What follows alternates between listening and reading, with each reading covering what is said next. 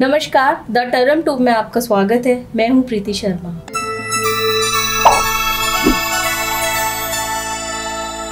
बढ़ते तापमान की वजह से मानो भारत जल रहा है।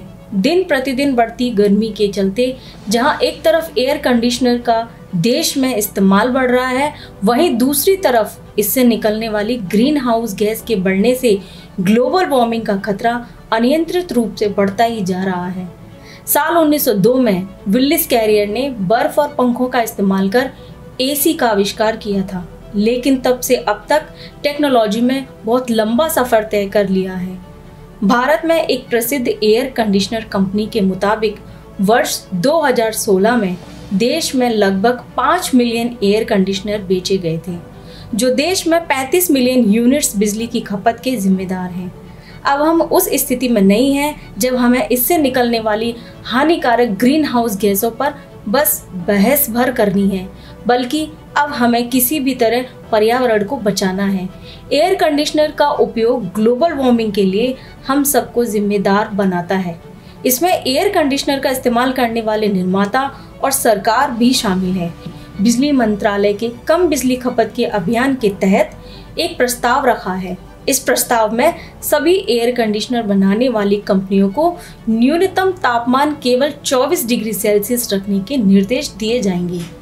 अगले छह महीनों में एक जागरूकता अभियान के बाद और लोगों की प्रतिक्रिया जानने के लिए एक सर्वेक्षण के बाद मंत्रालय इस प्रस्ताव को पारित करने पर विचार करेगा।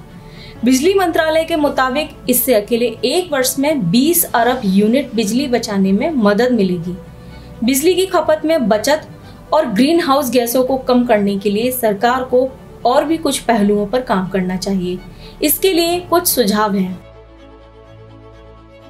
वायु अनुकूलन या एयर कंडीशनिंग और वायु प्रसार या एयर सर्कुलेशन दो अलग अलग चीज़ें हैं। पंखा और एयर कंडीशनर को एक साथ चलाएँ, यह हवा के प्रसार को बढ़ाने में मदद करेगा। पंखे के साथ एयर कंडीशनर चलाने से एयर कंडीशनर को अधिक कुशलता से चलाने में मदद मिलेगी। क्योंकि आप ज़्यादा तापमान सेटिंग में भी ठंडक महसूस करेंगे। उदाहरण के लिए, पंखे के साथ 27 डिग्री सेल्सियस की तापमान सेटिंग 22 डिग्री सेल्सियस की तरह महसूस होगी। यह अपने आप ही बिजली की खपत को कम कर देता है।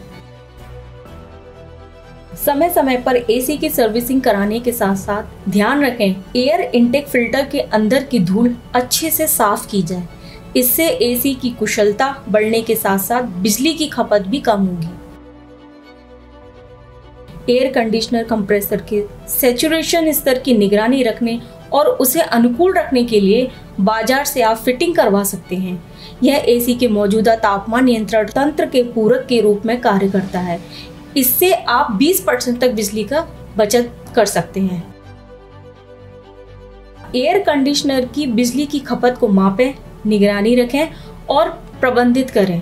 एक साधारण मीटर का उपयोग करके एयर कंडीशनर की बिजली की खपत की निगरानी करके आपको एयर कंडीशनर द्वारा वास्तव में कितनी बिजली का उपभोग हो रहा है, उसकी जानकारी मिलेगी। घर के लिए इकट्ठे मासिक बिलों की बजाय अलग अलग बिल में खपत को देखते हुए आपको इस बात का एहसास होगा कि एसी को ठीक से ना चलाए जाने से कितनी बिजली लग रही है। इससे घर में सभी इसकी ओर ज़्यादा ध्यान देंगे।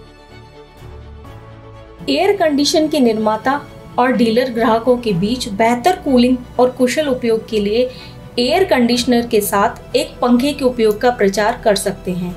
निर्माता एयर कंडीशनर के साथ बेहतर बिजली की गुणवत्ता सुनिश्चित करने के लिए एयर कंडीशनर के साथ एक स्टेबलाइजर और एक मीटर भी पैकेज में दे सकते हैं।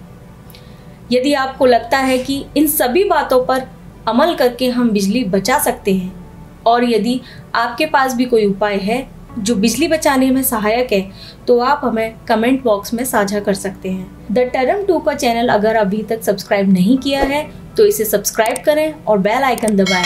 वीडियो फेसबुक पर देख रहे हैं तो फेसबुक पेज को लाइक करें। धन्यवाद।